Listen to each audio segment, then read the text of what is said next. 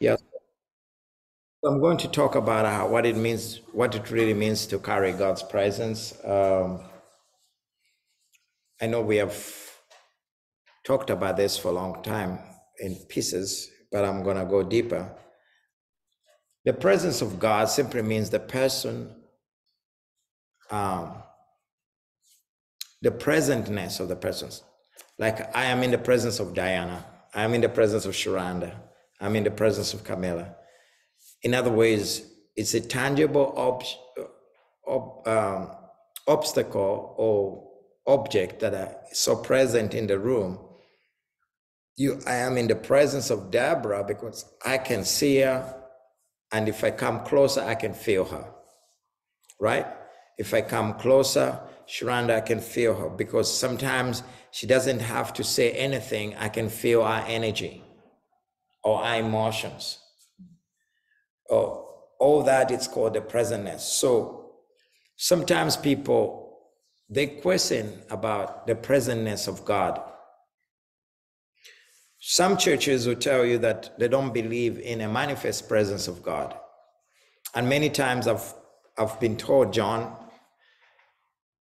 there was one church that wanted to have me, and they said, We don't like people shaking or people crying, and we don't like all that, but we just want your story. Um, I would say it's really great that you you are welcome. I said it's really great that you want my story, but the story there's a there is a person involved in the story. And I want him to be part of the story. Otherwise, I don't want to share my story. My story can produce death. The word without the owner can produce death. The Bible says, law gives death, but the rhema gives life. You know what it means? You can use the same Bible to destroy yourself, and you can use the same Bible to, to keep yourself. But when you read the Bible through the presence of the Holy Spirit, it's no longer just something you want to use, it's life to you, it's a reality.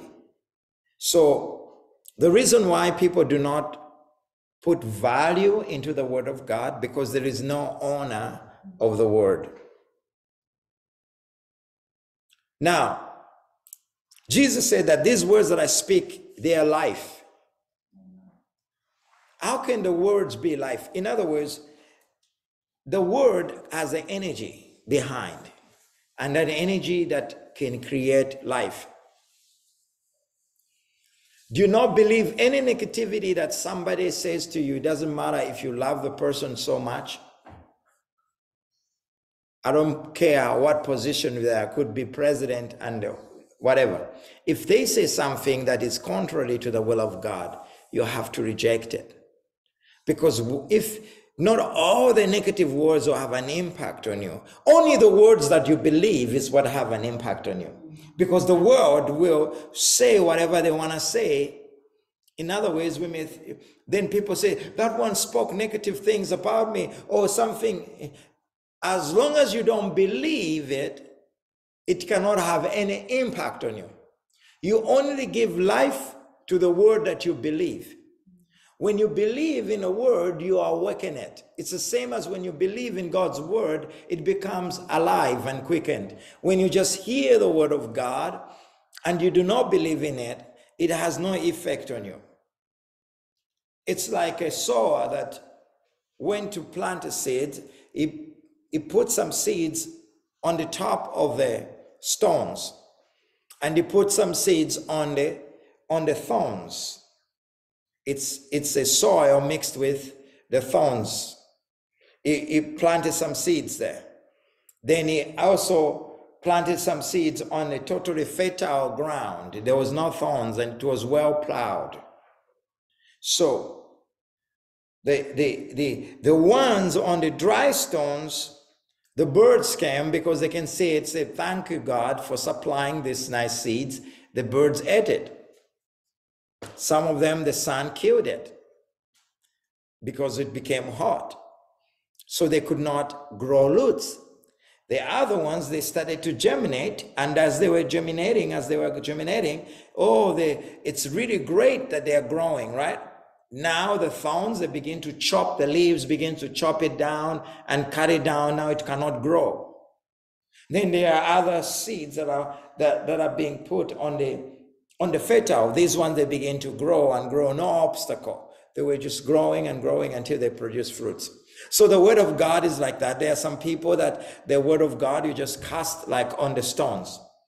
They will just hear the word of God and get excited about it. And the second, second, just a minute later or a day later, they don't even know about what I talked about or what God spoke to them about it. They will even doubt the Bible.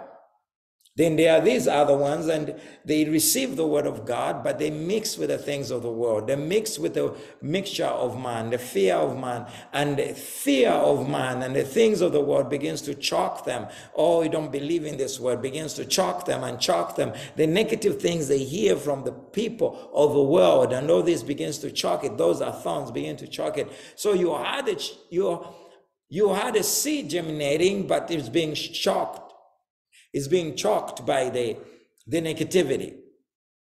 And then there's this other word, you ignore what the word is saying, you ignore the negativities, and you just stand on the word of God, and the word of God begins to grow and grow. Now, you have to understand that the word of God is a weapon, and every time the word of God is preached, it's war.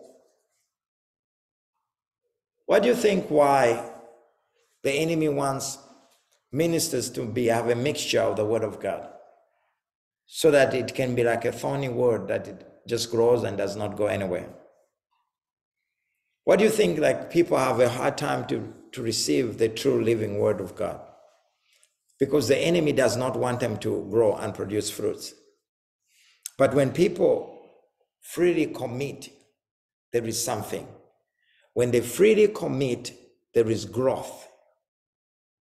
There is growth in the Word of God.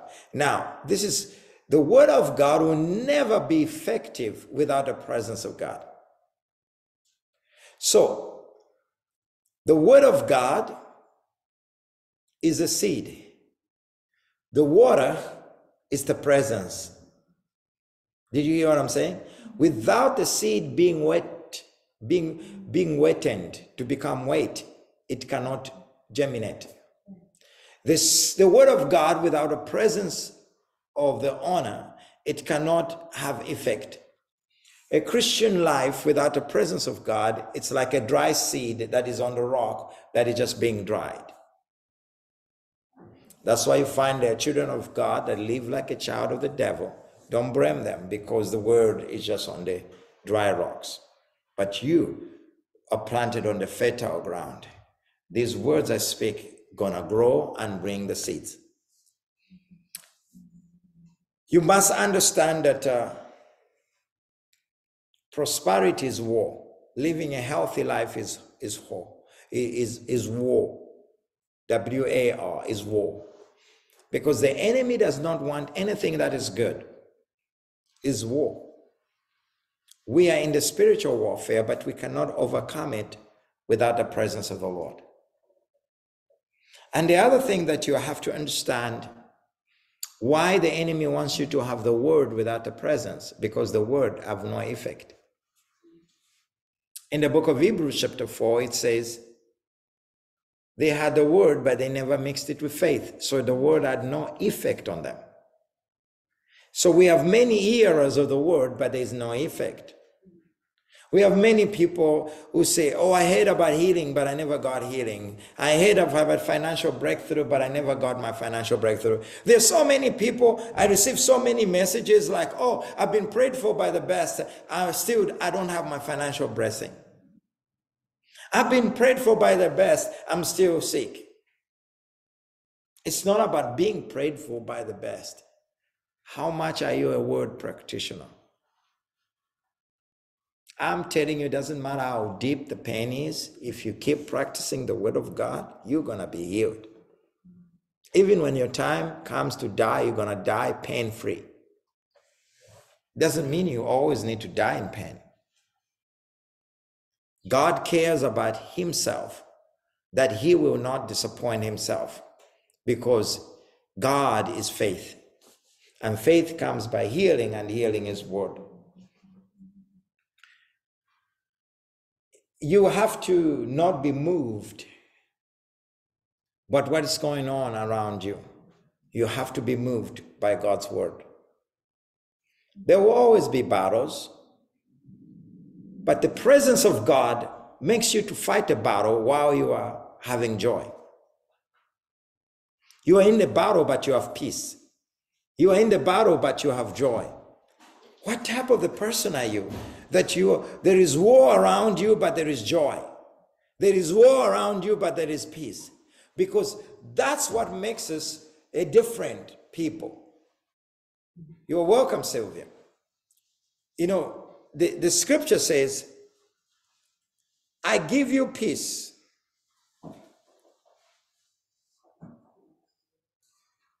Um, okay, you know what? We have very, very few people on the Zoom. It's because the link was wrong. Forgive us, people. Um,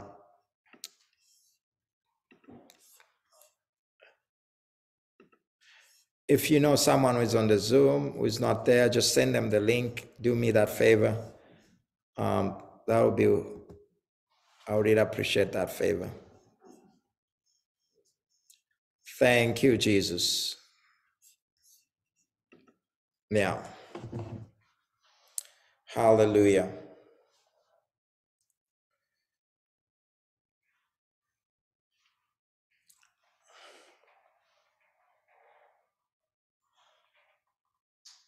I promise you, people, we are working on this. I know I've been talking for a long time, but we had a meeting before that today. Um, yeah, so you can tell people that to use the link on the Facebook. Yeah, so it's uh let's go to scriptures a little bit. Let's go to Exodus chapter 33. I know I always talk about this, but it's my favorite scripture. That's what you're talking about tonight. It's my favorite scripture, actually. Exodus.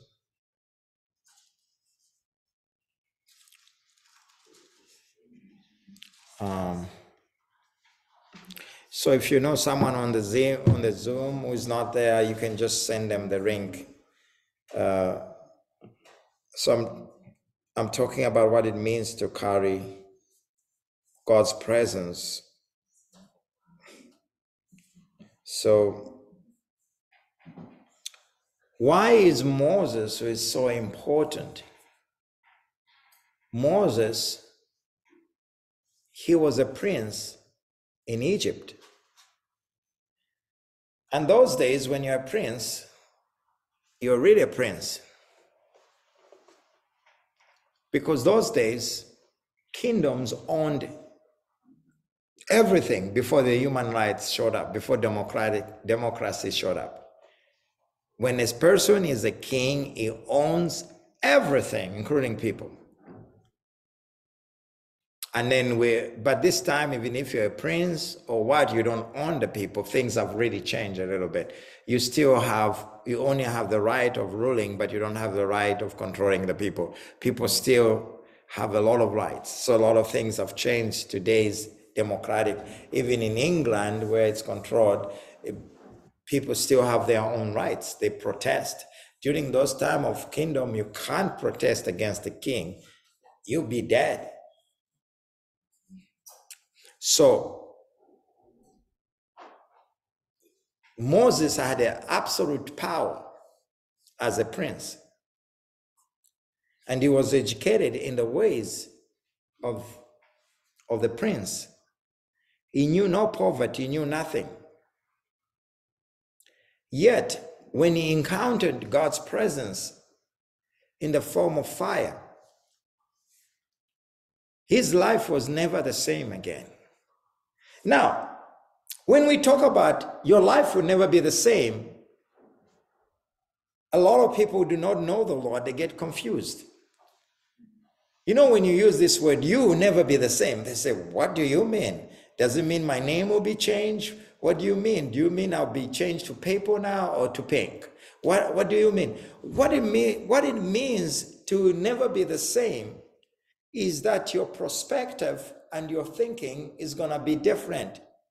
And where you are used to lose, you're going to win. And where you're used to be sick, you're going to be healthy. Where you used to be in poverty, now you're going to walk in abundance. Everything you're going to put on the new light and see things in a different way. Where you were controlled by cocaine and drugs, now it's no longer important. Now you are led by the Spirit of God. Where the flesh was controlling your life, temper was controlling your life, uh, your, your own personality was controlling your life, your own flesh was controlling your life. You were troublesome in the family, you were troublesome at school, you were troublesome in everything. You don't even know how to handle yourself. Suddenly, you're a man of integrity, means you're a man of your words. What you speak is what you are you live by integrity. Suddenly, you, you're a man of principles, controlled by the principles. You, you are controlled by certain values. There are certain things you cannot participate because you are governed by the principles of the Word of God. You have values for your life. Before you lived without values, now you have values. These are very important things. Never sacrifice your values for anything. Never sacrifice your self respect for anything. If I'm being in, invited somewhere to speak, I sense any kind of disrespect, I'll take my flight or car and drive back because my self respect is very important. Or if people are coming across my own principles and my values or the word of God, I will not make those type of people to become my friends because I value that. How do I value those principles? Because it's it's it's it's it's because I'm being influenced by the presence of God and I'm being changed and now I'm being raised by the principles of the word of God. I will not sacrifice my integrity for anything, for a dollar or anything, because I know that the, the, you're as good as your name. You're as important as your name. Values and integrity are very important. When people know you're a man of integrity and you're a man of, him, of value, a woman of value, they will listen to you. They will respect you. They will, people of uh, kings will come to you because they know you're a man of integrity. Kings will come to you because they know you're a man of value. And self-respect, you cannot sacrifice it for anything. Something as a child of God you should do never disrespect any color or any person despite of their status in life. You should respect even people that are homeless in their own respective way. You should respect the rich their own way. What I mean is respect human being. Never discredit the image of God because you are you are at a at a at a at a place of opportunity, at a place of favor, at a place of privilege. You have your roof on, you have food in the fridge, and you can sleep. Do not respect, do not disrespect somebody. But at the same time, in, in this in the same that you don't want to disrespect, you don't, you don't want to disrespect somebody, but do not sacrifice your values for the sake of respecting somebody. You understand what I'm saying? Your values come first, which is the word of God. Your integrity comes first, which is the word of God. You cannot sacrifice them because you want to respect them. Very important wisdom that I've just gave you. And you are married and you have children and all that, protect your family. Do not sacrifice your family for anything except for the Lord Jesus Christ, not for the world, not for anything. You have to protect them. These are some of the values that I that that I carry. Protect the family. I, I live by integrity. I live by principles and by self-respect. And if I don't feel respected in any way, I don't have time for any person who I feel disrespected. Now, you must understand, let's go back to Exodus. Moses, he was a respected person, he was a man of principles, a man of value. But he was able to sacrifice one value of being a prince. Because being a prince means coming against the will of God. Being a prince means to disobey God. He disregarded that. He sacrificed because there was something more valuable than that to have the person of the presence of God. That's why in verse 15 said, He said to him, If your presence will not go with me, do not bring us up from here. He values God's presence so much in Exodus chapter 33, verse 15. He valued so much the presence of God that he did not want Remember, he's the man of authority. He's the one who made loose. He's the one who commanded the chariot. He's the one who commanded the slaves, Jews. He was the one who commanded everybody. Hey, guys, let's go this side. They all go. Hey, you guys, stop here. We're spending a night here. They're going to spend. You're going to eat here. You're going to eat. You're not going to eat. He was the man of authority because he was the son of the king. Even if he was adopted, that's still his father. He knew no other daddy except the king. And the king loved him as his own son. Adopted children as real as a biological children because they get connected by emotions with their parents. They become inseparable. They are one. That's their daddy. That's his own, that's his daddy. The, the king was his father. Because he knows he's the son of the king, is a son of authority. Everybody was bowing to him. But yet, despite having all this power and influence, he knew something. He tested something on the burning bush. He tested something greater than being a son of the king, the presence of God, Jehovah God. That presence made his life to never be the same again because something was changed from the inside. Because something was changed from the inside, that's what he desired. That's what he pursued with all his mighty, with all his mind, with everything in him, because he wanted a presence and he didn't want to do anything without a presence. If you're going into ministry, you have not encountered God. You just want to build the ministry in a way of entertainment. You can draw the crowd, but you will not have an impact on earth. You understand? But to but if you build a ministry saying, if your presence will not build with me, I will not build if your presence will not be with me, I will not preach. If your presence will not be with me, I will not lead your people. I want your presence to come. I want to be led by your spirit. I value your presence more than my physical position on earth of being a pastor or being whatever names we give ourselves, doctor plus whatever extra things that we may have.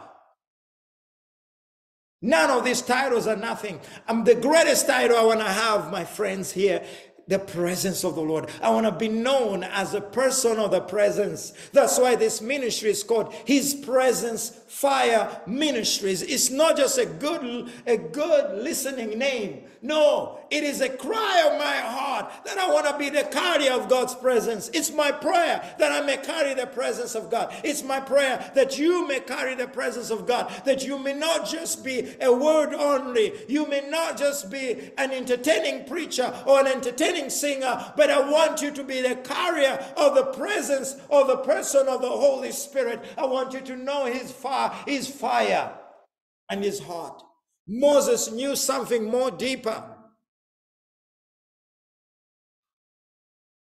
It's different if you say, oh, he was poor. He needed God to promote him so that God can provide for him. No, he had all the all the cattle. He had all the food. He had all the all, all that all that sea belonged to him because it belonged to his father.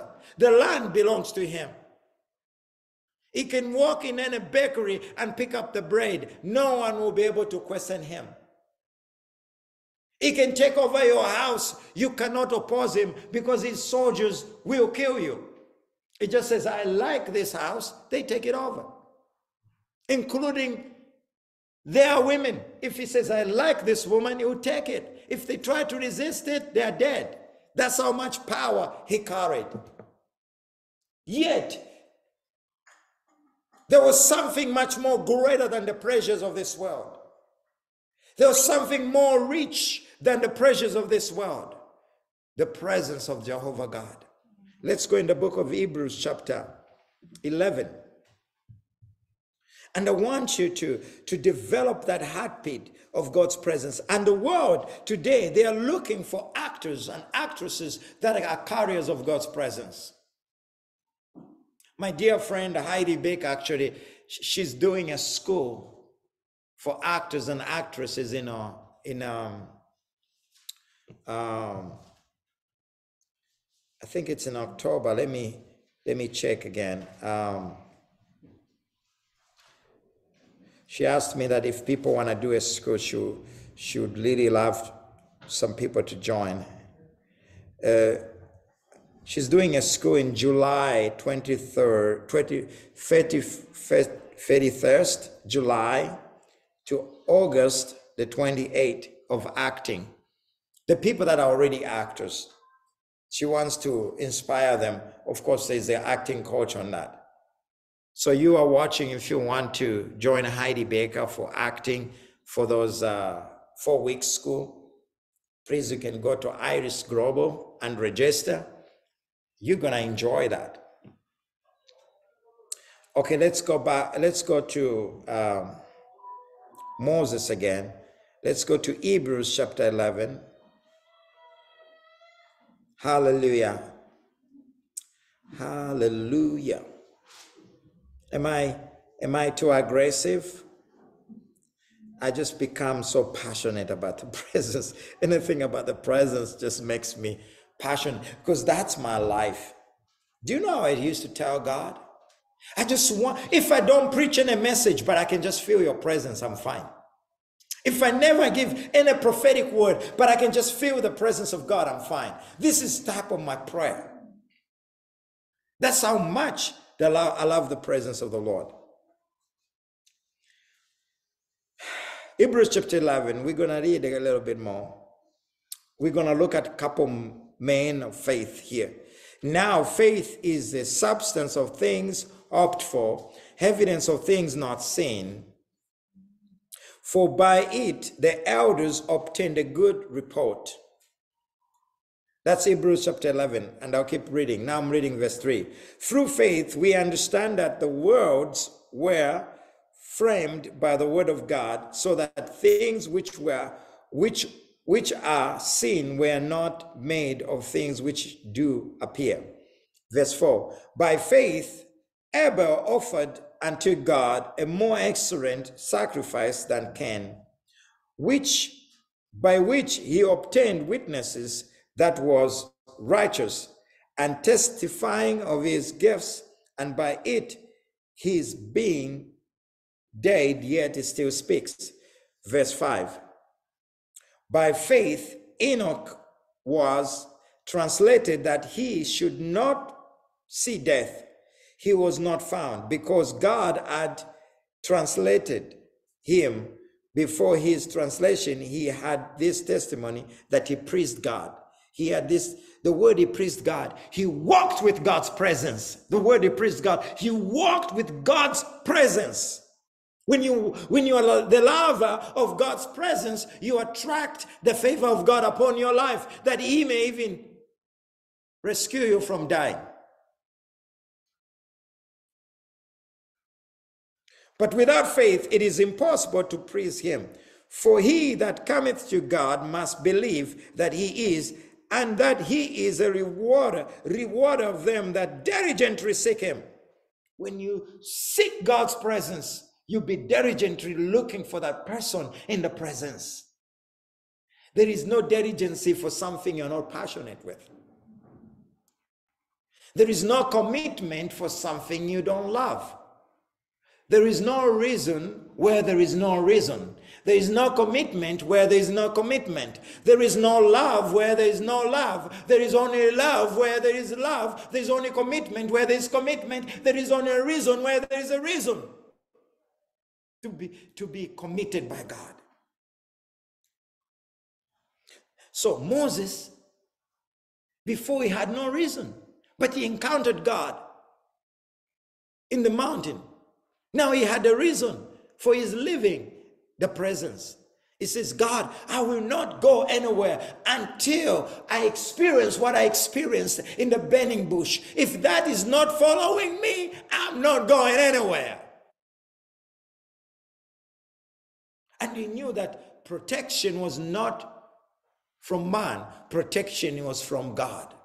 People, God's presence will protect you. You don't know the enemies that you have, you don't know which the devil has planted in your life certain relationship certain places where the enemy has infiltrated. You don't even know. You are so innocent you don't even know you've been trapped by the enemy. But the presence of god is able to get you out of that. That's why moses knew that i need god's presence in my life because the reason for god's presence is for my own favor my own protection and my own living it's not about him being the leader. That mattered less. He was already a leader. The presence of God is not so you can start a church, so you can have a name everywhere. So the, of the carrier of God's presence or the greatest prophet, that matters yet. What you need is that I need the presence of God by myself. Moses said, I need God's presence. Remember, he was already a leader, he was a ruler. Prince is a ruler, not just a leader. Leader. He was a ruler. Prince is a ruler, not just a leader. Leader. He was a ruler. What happened? Hallelujah. I didn't place anything. Hello? Okay, we are there. Okay, somebody might have turned the TV then and this. So sometimes people do that. But but anyway, they're getting as much excited as I am. That was you So who you must what? understand. You must understand that the prince is a ruler, not a leader. In other words, he rules over the leaders a king is not just a leader, he's the king over the leaders. He has Edmonds, he has other people that are leaders. He's the king, is in charge. The word king means control of everything.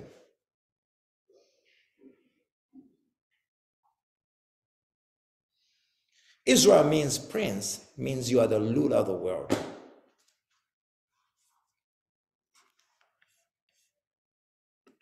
Okay. The noise is out. Praise God. I was getting excited. I didn't know I love teaching that much. I go deeper. So, um, without faith,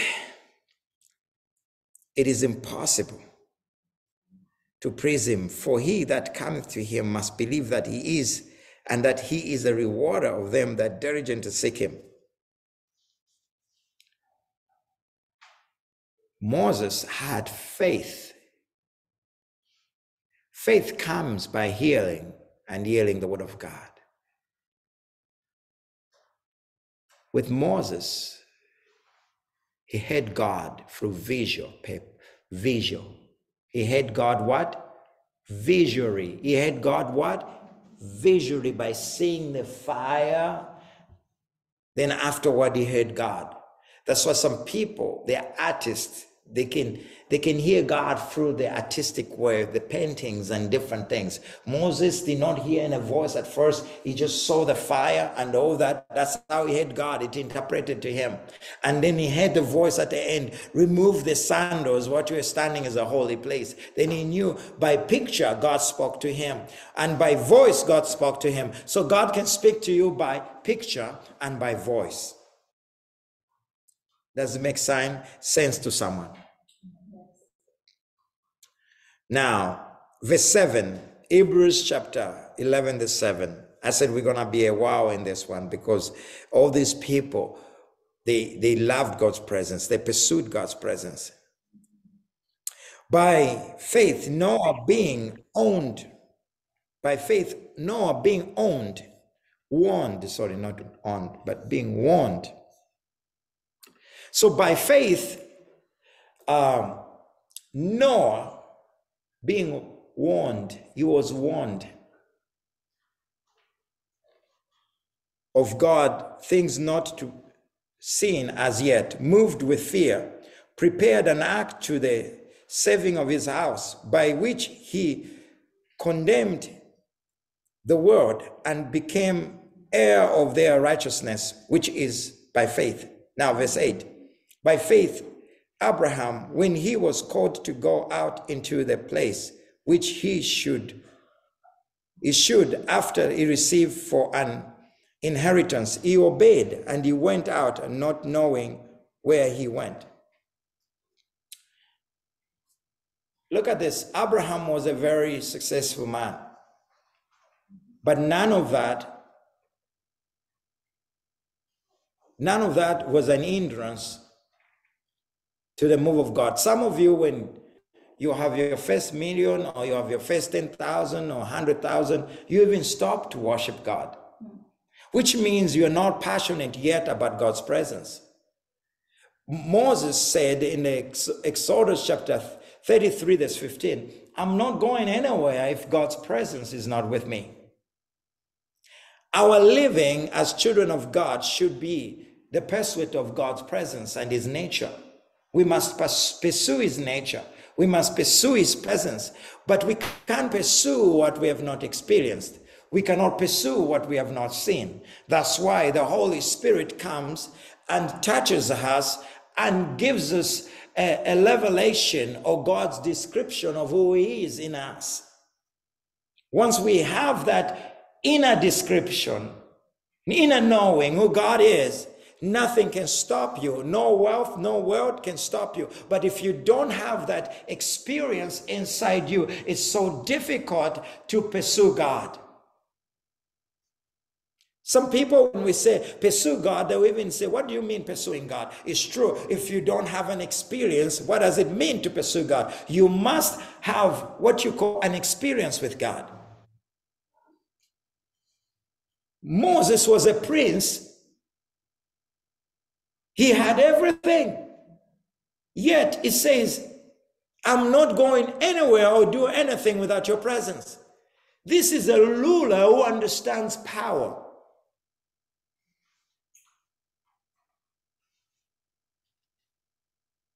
Once you taste of God's presence, your life will never be the same. What I mean is that the word you'll never be the same can be confusing to other people. It simply means the perspective of the way you look at things will change. What you valued, you may not value anymore. Your values may change. And when your values changes, your desire changes. Remember, I talked about three important values. I talked about self respect. I talked about God's principles. I talked about following, valuing family that you cannot trade these things for anything in the world. But you never really find the value, not until you know how to carry God's presence and how to walk with God's presence. Some people choose to have the word without the honor. And that's why there's there is arguing of philosophies. Even in the book, uh, in the Bible, it says, Apostle Paul says, it will profit you nothing by arguing of your philosophy.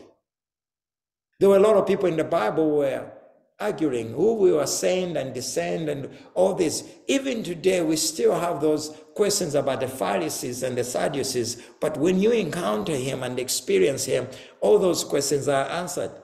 You know who God is, you know who your daddy is, and you have no question about it, and you will just go after your daddy. The problem is we still have people who are questioning about their own father. I mean, our heavenly father. That's why it's so hard for them to pursue God. And, it's, and if you don't trust God, don't expect God to speak to you. God will not volunteer his voice to you. I have news which could be a bad news. God will not volunteer his, his, his voice to you. He will only speak to those people that are already longing. That's why in places like Muslim countries that are worshiping along God, and, and God shows up because he knows they're looking for something.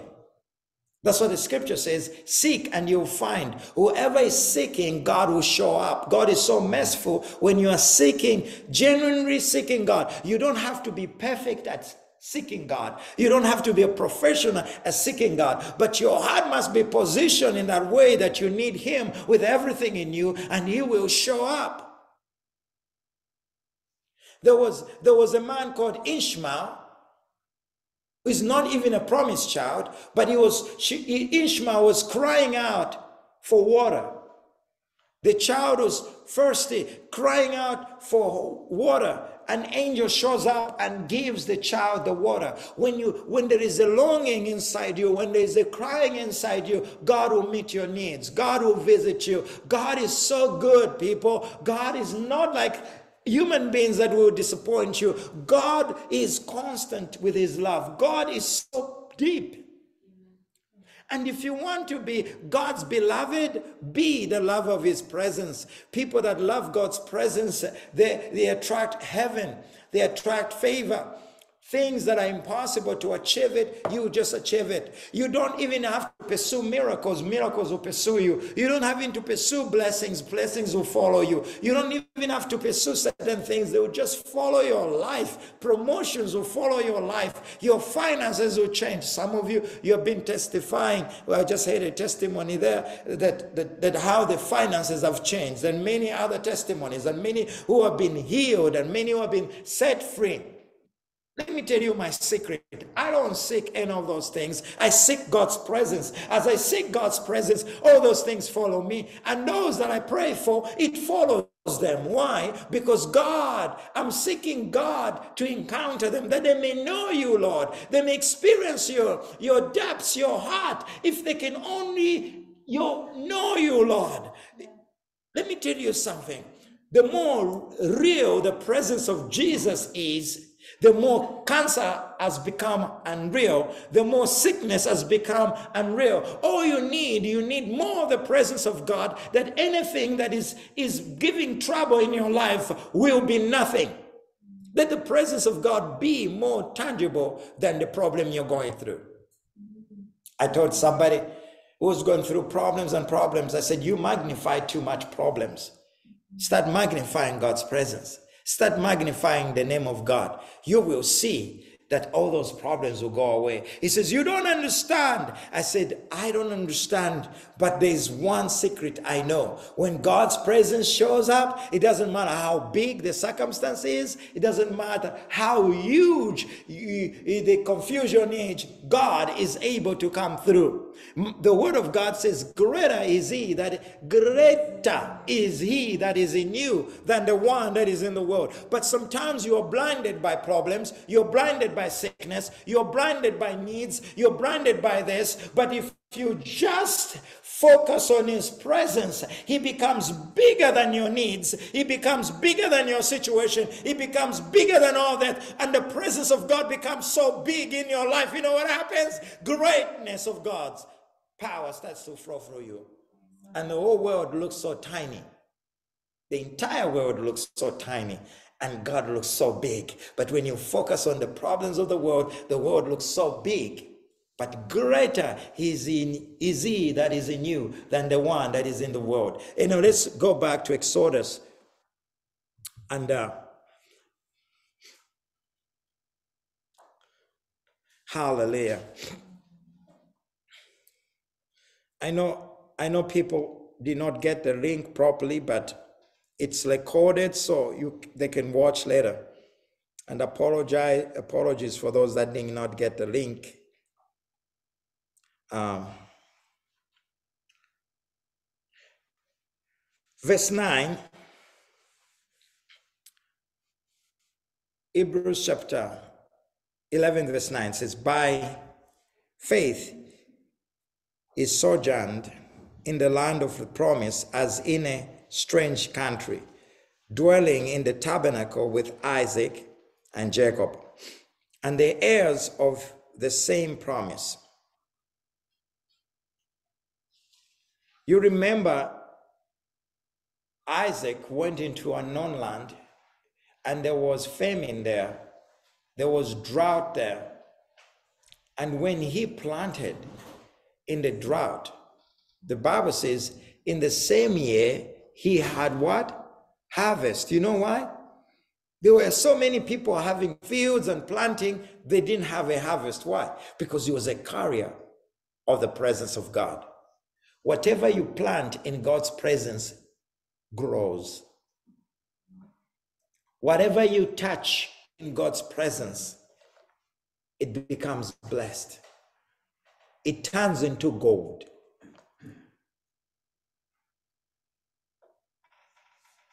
You know, I was talking to one of the leader of the country, told me about his the country that was considered did not have gold, did not have minerals, I remember we went to that country, we picked up the soil and started declaring there will be gold, gold will be discovered, oil will be discovered, all kinds of minerals will be discovered. And that leader that I had a private meeting with, he told me that there's so many gold and so many minerals that have just started happening in the nation. Because you know what? When you, as a child of God, you step into a community or you step into a nation, you will change everything. You know the story of Asher in the Bible. Wherever his feet stepped was turned into oil. He went to he went to Iran, it's an oil country. He went to Iraq, it's an oil country. He, wherever he's when you look at the Bible history, wherever he's put his feet on, there was oil. Eh, What about you? When God anoints your feet, Whatever you put your feet on, there's oil. What about you? When God anoints your hands, whatever you touch it into your hands becomes blessed. When you become part of the business, the business begins to flourish, begins to make profit. Whatever you touch begins to grow and expand. This is, this is, this is what makes a difference between the one that carries the light and the one that carries the darkness. When you are part of something, it will work that's why, as a child of God, do not just join any club anyhow. Do not just join any company anyhow because you're an asset. When you join something, if it's a failure, it will become a winner. If it's not working, it will become working because you bring in the working anointing. You bring in the working faith. You are the producer, not just a consumer. Why? Because you have angels that are being activated, working, working with me, uh, working with you. They're walk, work, walking with you and working with you. Every time you go into a place, you're not alone. And Jesus said, I will never leave you nor forsake you.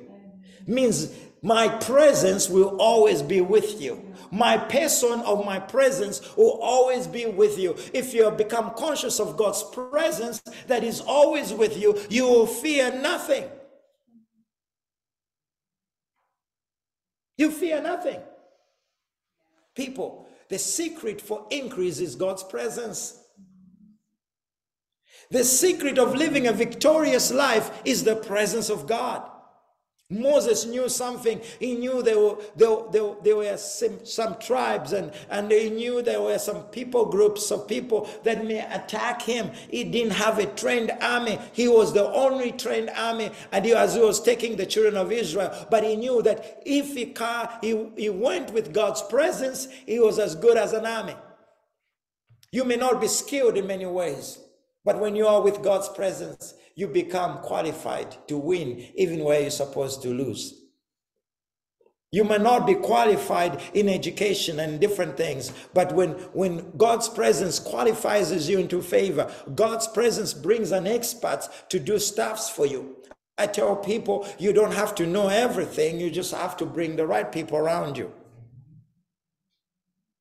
And the Bible says, when man's walk, a woman's walk pleases the Lord, it gives you favor. It gives you favor with the people to work for you. It's a scripture. Are you lacking people? Seek God's presence, they'll come. Hallelujah.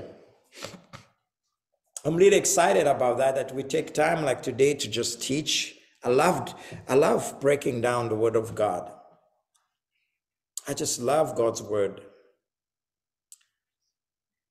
Verse 10 For he looked for a city which he ha, have, have found foundations.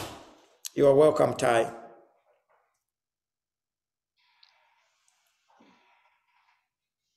Whose builder and the maker is God. Verse 11 Through faith, also Sarah herself received strength and conceived a seed and was delivered on the child when she was past age, because she judged him faithful who had promised. People, when you walk with God, God will remember the name of God is faith. His name is faith. He is faithful, he will not deny himself. Anyone who's got faith will have results. Unless you have a wrong faith. But the true faith, true spirituality, is believing in the resurrection and on the death of Jesus Christ. That Jesus Christ is Lord and King. That's true spirituality. You meet so many people said, I'm spiritual. Yes, every human being is spiritual, but true spirituality is through Jesus Christ. because that's where your security is. In the book of Hebrews, it talks about Hebrews chapter 12, it talks about Jesus as the author of your faith. I'm a writer. I write things that never existed and I put them into existence, right? Those books that I have, they never existed before. And I never copied to anybody or tried to copy somebody's. No, I write them from my inside. They are original. In other words, I offered them from nothing to something, and today I give it to you in your hands, and you read it and say, Wow, and blesses you. Now, faith, He gives you faith as you hear His word. It gets written in your heart, in your spirit. The ability to believe the impossible the ability to believe in angels, the ability to believe in healings, inability to believe in cure where there's no cure, that type of insane faith to believe things that do not exist. It's a miracle faith that is being written inside you that you can do all things through Christ. That's faith. You can, you are an overcomer. That's faith. You are blessed, not cursed. That's faith.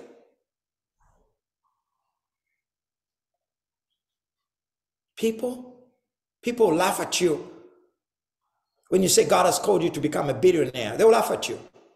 God has called you uh, to raise the dead. They will laugh at you. People will laugh at you when you say you can cure HIV and AIDS and diabetes and all this. They will laugh at you. But because there's something inside you deeper than you, stronger than you, that's faith that's from Jesus. It's not from the earth. It's from heaven. And heaven is living inside you. Something have been sub- tattooed inside your heart. Something has been subscribed inside your heart. The presence of Jesus. You feel God's presence. You believe in the reality of God's power. That if I lay my hand on you, you shall be healed. If I speak the word of God, when you receive it, you shall be healed All things are possible with him that believe. With is the person.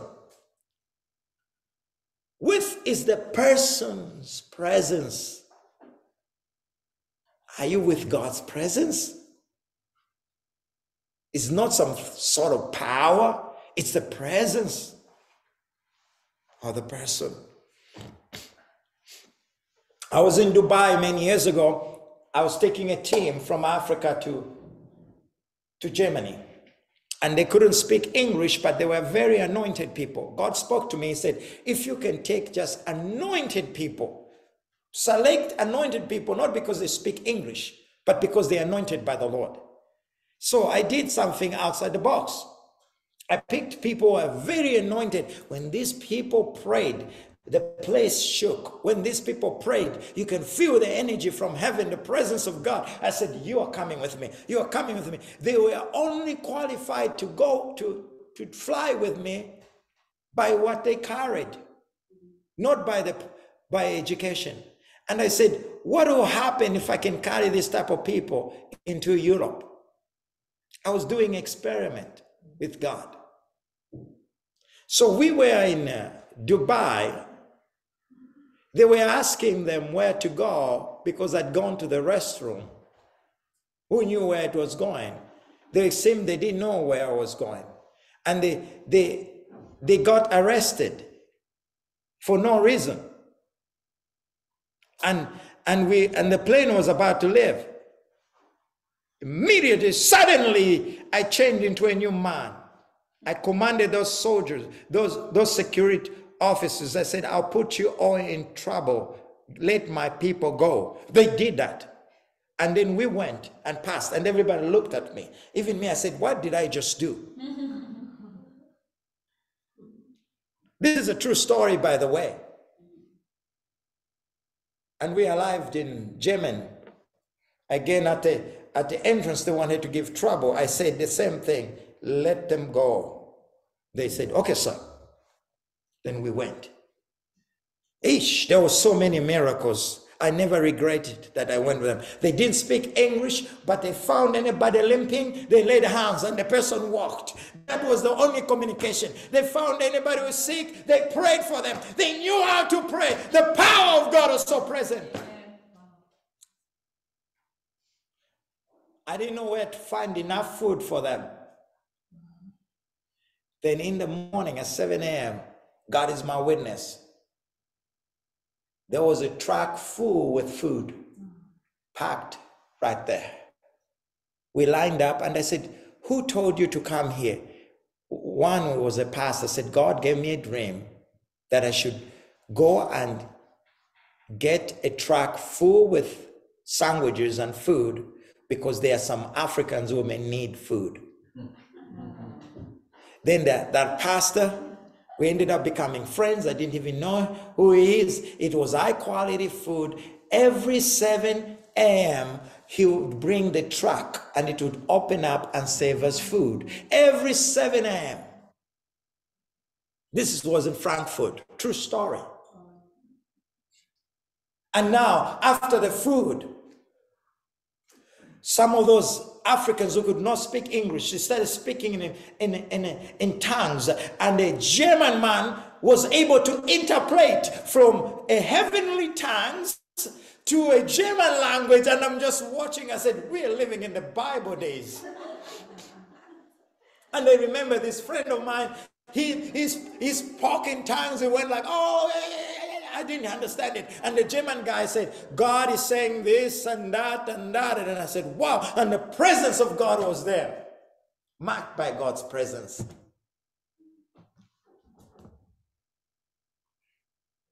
By the way, there was a, a, that's why you wonder why there was a crazy documentary about us. And mostly they targeted me. All, all these uh, wonderful brothers who are atheists, they targeted me. They said, this is a good story. So they were following us throughout, throughout, uh, you have heard my story before, throughout the whole German because of miracles. And one day I was, I was, I was walking in Frankfurt. I saw the newspaper on the front. It was my my face and I'm like, Jesus on the plant, but I didn't read German. Like every day we had a headline. Wherever we went, there was generous, we had a headline every day. I wish I corrected all those newspapers and kept them, but I didn't think about that. I was too heaven minded. But again, I want to quote that. Some people say being heaven minded, not being earthly good. That's not the truth. That statement the Holy Spirit told me is not true. The more heavenly you are, the more responsible you are. The more you are disconnected to heaven, the more you are disorganized on earth.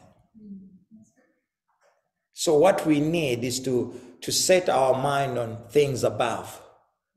Then we should be able to be successful here. If we are not successful there, there's confusion here. So, be heavenly as much as you can. Then you'll be so much earthly good. But if you try to be too earthly good, you'll be no heavenly good. Then you are no heavenly good, you are confused. Seek ye first the kingdom, the kingdom, the kingdom, the kingdom. The person, the kingdom means the king and the dome is the place. The king sits on that dome. Jesus, the person, the kingdom, the treasures of the kingdom, the gold, the silver, everything will follow you when you follow the person of the presence of the kingdom. We have a few minutes more. Then uh, uh, I invite John. We have like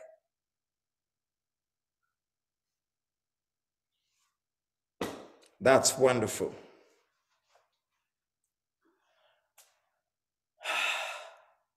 I'm telling you, something beautiful is happening tonight.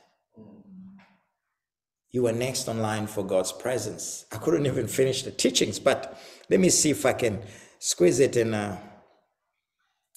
Because we need to finish by nine. I'll invite John to come and. Uh, there's something I want you to understand about the book of Hebrew. It's so powerful because we were talking about Moses. We, let's jump. We'll, we'll go to 22 and 23. Maybe next week we may continue something. And 24. It says, By faith, Joseph, when he died, he made mention of the departing of the children of Israel and he gave commandment concerning his bonds. When you're a carrier of God's presence, your voice will never die because the nature will obey, the next generation will obey, everything will obey. That's the power of God's presence. And God is about legacy. Verse 22 by verse 23 by faith, Moses, when he was born, he was hid three months of his parents because they saw he was a proper child and they were not afraid of the king's commandment. When God's favor is upon your life, God will command people to look after you. When God's favor is upon your life, God will command people to usher you into your purpose, usher you into your destiny, usher you into your vision. They'll help you build. The favor of God was upon Moses, the Hebrew. God commanded the king's daughter to look after because Moses was a future for the Israel. You are the picture of Joseph and the picture of Isaac. Isaac was a physical example of the blessings of Abraham. When Isaac planted in, the, in famine, he was able to harvest the same year, such that the kings were envious of his blessings. The kings of this earth will be envious of God's blessings over you. Amen. So he was a physical picture of the manifestation of Abrahamic blessings. Today, you are a physical picture of the manifestation of the blessings of Jesus. We don't see Jesus here, but you are the manifestation. You are the true picture of Jesus on earth. I hope you got that. Now, you must understand that you'll be protected God will send people to protect you. God will send people to fight for you, will send people to build you, supply you with everything, just as God is sent the daughter's Pharaoh's daughter to look after him, though he was his own. There are people who come in your life who look after your vision, though it's their own, who look after your dream, though it's their own. Why? Because God's favor has come upon your life until your vision grows, until you, that baby becomes stronger. God will take care of your dreams and your vision. They will never die. You may never have gotten a, a, a, an acting role or a job or, or your company is not taking off. Don't worry. God will send his people that will usher you into your destiny, just as he sent the people to look after Moses when he was young. Hallelujah. But you must understand in verse 24 by faith, when he was come to years, by faith, he was trained as a prince he had abundance. A prince means a ruler and a, a ruler over leaders. So he understood loyalty and power. There's just power, but there's also loyalty and power. Loyalty means they own the land, they own the people. But he understood that power of loyalty. He understood it very well.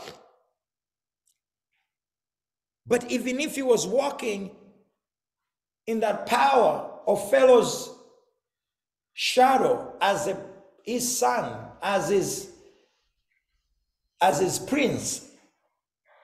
Then he encountered something much more greater than that power, the presence of God.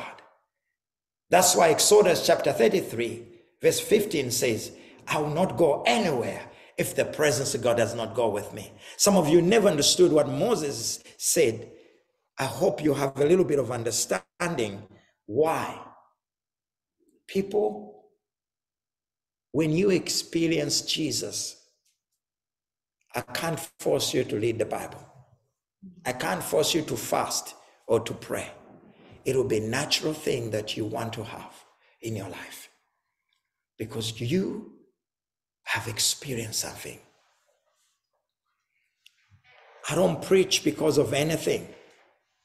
In fact, I started preaching before I went to Bible school. When Jesus visited me, naturally, I wanted everybody to know about my Savior, my Lord, my Jesus. That's why I went to places like India. I even went to places where I was almost killed by the machete. I shared that story to some of you. I don't want to mention the name of the religion. And my bodyguard, Patrick, the python killer mm-hmm. protected me. The Dutch, the Dutch guy from Netherlands, when I went to that village, I had a vision to see the entire village to come to know the Lord. So when we were communicating, he said, Okay, but I'll send you someone to protect you. I said, I don't need any protection, but he still sent. His name was Patrick. Because witchcraft was coming down, powers of darkness was coming down people started experiencing another power that they've never seen. They have experienced witchcraft, they have experienced all this. But when I was in the area, they were experiencing the power of God, and witchcraft was paralyzed and they couldn't function because the glory of God was in the area. And guess what? They wanted to stop me in the natural. They came with a machete. And I thought my life is over for sure. At once in my life, I thought about that. But at the same time, there was so much joy to lay my life to the one that I love. I experienced half matter before. I wasn't really martyred, but I experienced the joy of being with the Lord and the joy of being so scared in the natural. Then, then, then, then, then Patrick says, I am Patrick the Python killer. If you dare touch my client, I'll kill your chicken, your animals and everything, and I'll burn your villages, the whole land. And then I heard about the story that this guy actually he had a python attack him in the natural, and he killed it with a very little knife. So they call him Patrick the Python Killer. Because of that, you know, python is not a joke animal. So, so that's how he gained his reputation. And when he said that, I saw every single person said, "We didn't know this is Patrick the Python killer. This is the." They started learning. Then I said, "God sent Patrick as an angel." Praise God for Patrick, the Python killer. So God was sending people to protect you. I didn't say it necessarily, but God foresaw it. He saw the future. So he sent Patrick, the Python killer, to protect. And from that that very moment, Patrick became my closest friend. I said, I need to keep him very close. Everywhere I'm going, I say, Patrick, let's go before I didn't know, I was leaving him behind sometimes. You know, I was doing my own thing. He would even get upset. He said, Sir, you have you can't go anywhere or pray for anybody without going with me. This area is dangerous. And I said, Don't worry. But but from that day now, I became an obedient child. And I said, Patrick, go with me. God is leading me this way. Patrick said, Wherever God leads, I'll come and I'll protect you. You close your eyes, I'll open my eyes. God bless Patrick, the python killer. All right. Uh, let me invite John, and then uh, uh, then I'm gonna come and close in prayer.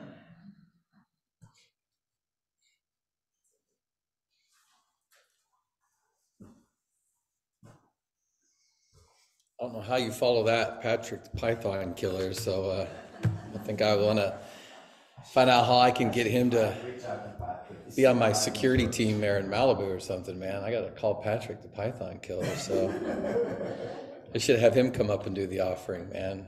Give. Well, hey, uh, he just uh, Gershom asked me to come up and just uh, speak really quickly on, um, you know, on giving, and I, you know what, I, I'm excited to to talk about this. You know, sometimes it can be uncomfortable for people to talk about giving, and you know, people we've all sat in places where you feel oh somebody's trying to manipulate me or you know, say whatever. But one thing I can say, um, and I really want to say this, is by me being in this man's ministry, just by what he says, learning how to cultivate the presence of God, it's given me a revelation of giving, of being generous, not just to his ministry, but to everyone. Uh, I try to be a good tipper. I try to take care, you know, I'm generous in public wherever I go. And something I, I really have started to see the fruit of what it means to be under this man's ministry. And I want I want to actually challenge you guys and you online and everyone here if you feel like your life really has changed, if you have fruit from this man's ministry to give into this ministry because I'm going to tell you right now, he told me several years ago, he said, John, your life's going to change. He goes, just, just stick it out. You're going to go through good, bad. There's going to be some. Let me tell you something. My wife will tell you, we've had bumps, we had bruises, we've been kicked out of places. And let me tell you something. I went, my, so, and this is not a boast. I don't want to give like exact numbers, but my income has doubled, literally doubled. And I had a $50,000 raise in January. That's never been done before in our industry. And I am now the highest paid team lead in the security industry in the state in all of our security industry in Southern California. It's never been done. And oh, by the way, the other guy that has my job up in Northern California, he got it too because of, of what happened with me. Thanks, Camille. So she prophesied over me on that too. It's it's everyone community in here. And I wanted to share this with you guys because you know, sometimes I said, I said, you know what, you should start letting some of us share some of these testimonies because, you know, you talk about a thousand times more in, in giving, but I'm telling you guys, this stuff works. We were, I've literally seen God transform my life to where we were struggling. And now, I mean, we got back to Oak Park where we are, and things are turning around in our life personally, professionally. And I'm seeing God's hand move. And then when I started really being faithful with my giving and tithing, you know what? Sometimes it, it can be, you're like, oh, you know what? But I'm like, no. And I wanted to read this scripture because I take God for his word. I take God for his word. And that's something that Gershom has taught me. And it says right here in Luke 6 38. And how many times have we read this and how many times have we we've said this, but do we really believe it? Do we really believe it? And I have to challenge myself this. It says, ready? Give, and it will be given to you. It doesn't say give and it may be. Give and it might be. Give and if God's feeling good in a mood that day, it will be. No, it says give and it will be given to you. Ready? Good measure. Press down. We sing those songs. Good measure, press down, shaking together. You know, silly. You know, it's so. And then, ha ha ha. We we sing that little song or whatever. But it says it right here. Good measure, pressed down, shaken together, running over, will be put into your lap. And here, then it says, for with the measure you use, it will be measured back. So I want to challenge you guys, and this isn't. I mean, hear my heart. This is not a. Any. There's there's nothing coming from this, but trust God. And I'm telling you, when he when I started getting in the presence of God, he started challenging me in my giving. When you're in the presence of God, like he talks about, you're you're I, I could be doing something and just praise and worship God. He's like, Yeah, you're gonna give, you make sure you give that, you know, your tithe. Make sure you oh, and that offering too. I'm like, oh wow, I heard you, God. Okay, yes, sir, yes, sir. I'll be obedient and give. And I'm telling you, when you start being consistent with your giving, stuff will literally come and chase you down. This job chased me down. It chased me down. And now they've asked me to move over into business development and do other things while I'm still managing. And I literally have people calling me and they're finding out who I am. And I was just telling Camila back there, I was like, man, I'm telling you, watch what one year even from now, what's going to happen. A, I believe it's being plugged into this man's ministry because he's plugged into Jesus. B, and I, I believe it's being faithful to give. Amen. So I, is it okay if I share this with them or how to give, or do you want to do that? Yeah, I think, yeah, sure. Okay. So if you are going to give today, that'd be great. Um, the PayPal is, for those of you online, is hispresencefire at gmail.com. Hispresencefire at gmail.com. The Venmo is his presence fire. Cash App is dollar sign his presence fire. And Zelle is fire, fire, fire love at Gmail. Three fires. Fire, fire, fire, love at gmail.com.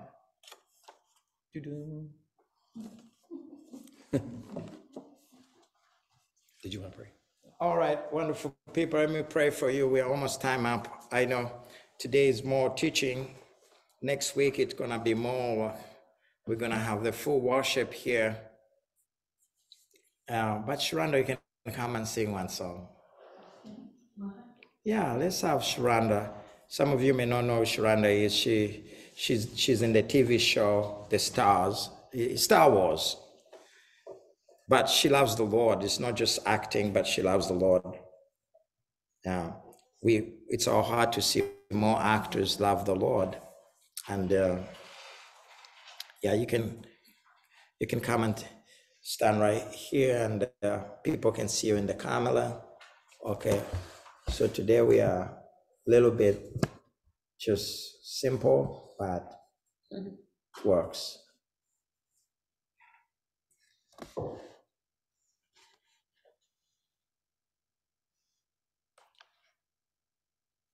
We're doing a cappella. Today, we, there are sometimes we don't want to do music or anything. We just want to talk. Um, next week, we're going to have music and everything else. So we, I want you to know that God can move without instrument, but also God can move with instrument. Jesus, we love you. Oh, how we love you. You are the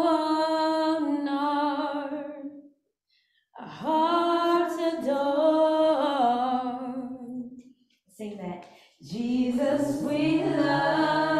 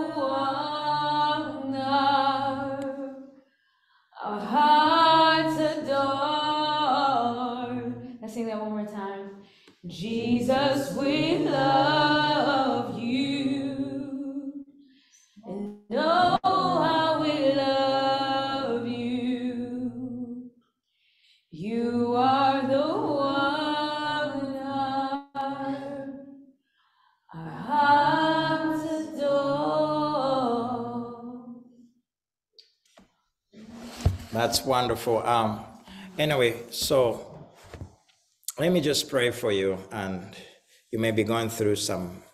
You are here. Just raise your hand to the Lord. You know, one time I was I was praying, and the Holy Spirit spoke to me. Said, "Raise up your hands." Then when I raised my hand, said, "Every time you raise up my hands, I come down. Every time you raise up my hands, I come. You come down." So let's do like what is. Father God, we thank you for your presence. We thank you for the people that have made it on Zoom. Congratulations to each one of them.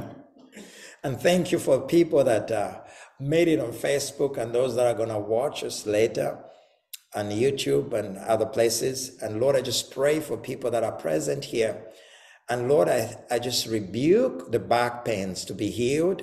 I rebuke even the confusion in the mind to go.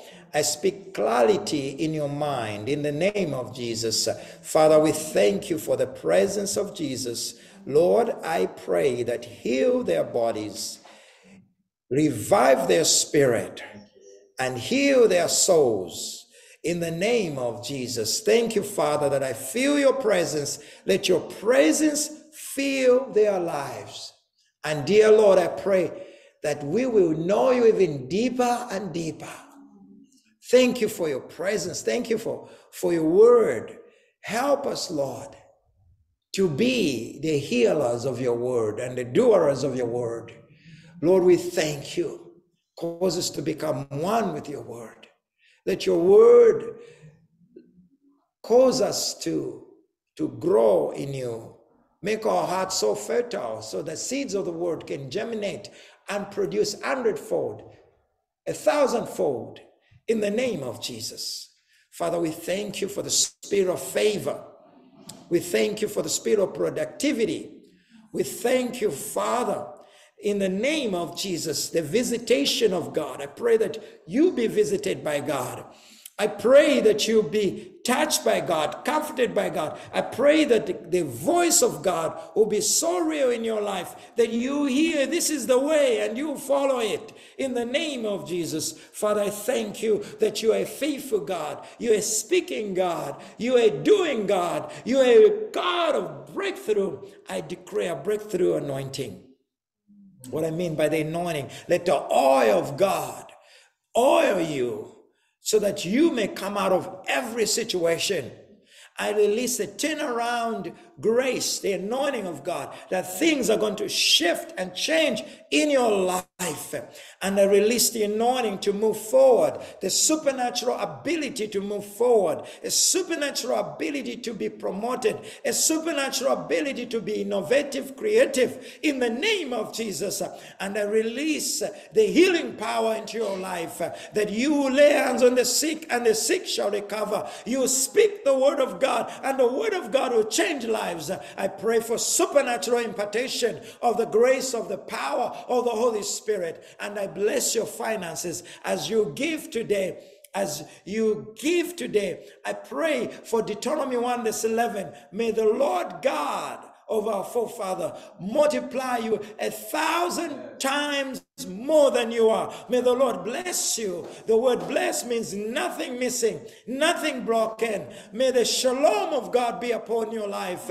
May good things happen to you. May good opportunities happen to you. May good relationships happen to you. May good business come happen to you. You know, many people have success, but there's good success. There's excellent success. May God give you good success in the name of Jesus. We thank you, Father, that may you prosper in everything you do. I just see God's grace is coming upon you. Just receive it right now. Just begin to thank God for what He has done. Lord, I thank you for touching my life. Thank you for touching their lives. Thank you for your presence. Come, Holy Spirit. Come, Holy Spirit. Just make a whisper to Him or just say something in your car, in your house, whatever you're doing here, just don't be afraid to reach out to God and what you feel in your heart. Just reach out to God. God knows exactly what you're feeling. And God is so nigh to you. God is so closer to you, closer than the air you breathe, closer than anything else. He wants to touch you right now. He wants to remove that heavy yoke. He wants to destroy that heavy burden. He wants to remove it by the power of the Holy Spirit. In the name of Jesus, I pray. Amen and amen. Amen. You online, God bless you, and we'll see you on uh, next Thursday in person. Hallelujah. God bless you, and thank you for joining us. You online. God bless you here. Oh, I saw Dean. I just, I've just seen Dean. Good to see you, Dean. Uh, Dean and Susan, they just, we just became into partnership with uh, uh, Good Life television. We'll tell you more about our partnership. It, I really feel God in it, and I'm really excited. We'll tell you more, and we'll make some good announcement. It's good to see you, our Australian friends, Anna, and many others. God bless you all. God bless. Thank you.